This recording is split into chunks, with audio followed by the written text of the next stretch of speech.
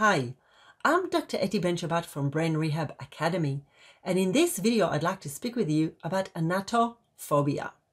Anatophobia is made out of two words, anatomy and phobia. In other words, the phobia of anatomy.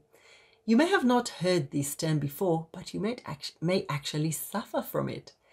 You wouldn't have heard this term before because I just invented it. And the reason I invented it is because I kind of sense it from clinicians quite frequently. So this is how it goes. Sometimes I start talking about brain imaging, and then people become quite apologetic or uncomfortable saying that they don't know the neuroanatomy, don't remember the neuroanatomy, need to refresh the neuroanatomy. And it made me think what is it about the learning of neuroanatomy that makes it challenging, that makes it not stick?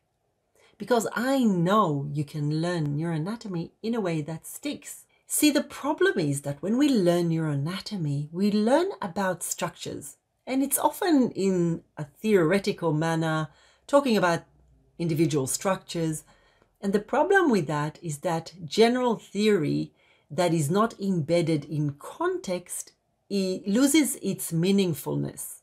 So if something is meaningful to us, we're more likely to remember it. The way to make neuroanatomy meaningful is to follow four steps. Step number one learn structures in relation to each other. So don't learn just about individual structures, but learn how they relate to each other. Step number two, learn neuroanatomy in context. So the context of neuroanatomy is brain imaging because you're not going to be doing autopsy of your patients. So the only way for you to look at their brains is by looking at the brain scans.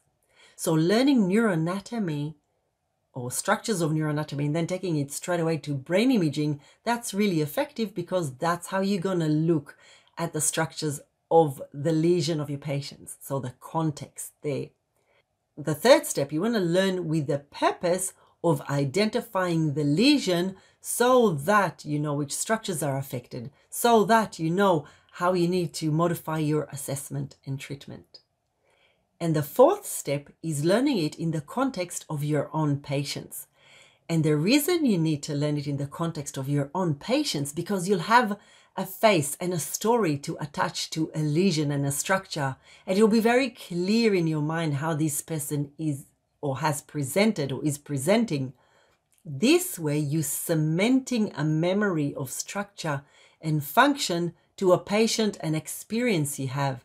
And because you're linking in your memory system to different types of memories, you are more likely to remember it.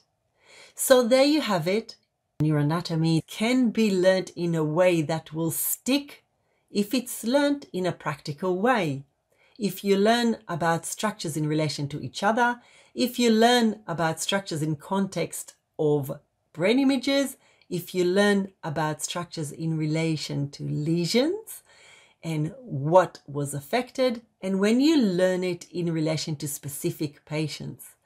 I remember when I was studying anatomy, one of the most um, useful textbooks for me was clinically oriented anatomy. And the reason it was so meaningful is because there were little snippets, little boxes of where there were clinical stories related to particular structures. And that's when I really remembered the anatomy. So it's very similar when you learn neuroanatomy. In fact, this is the way I teach all my brain imaging courses, and this is how my trained clinicians view the brain images, analyze the structures, analyze the lesions. So it is possible to learn neuroanatomy in a sticky way, in a way that will stick in your head. If you'd like to learn it with me, go ahead to my courses page on my website and look at the various courses you can do. Otherwise, keep on following me. Please like and share this post if you think someone else can benefit from it. And good luck with learning neuroanatomy.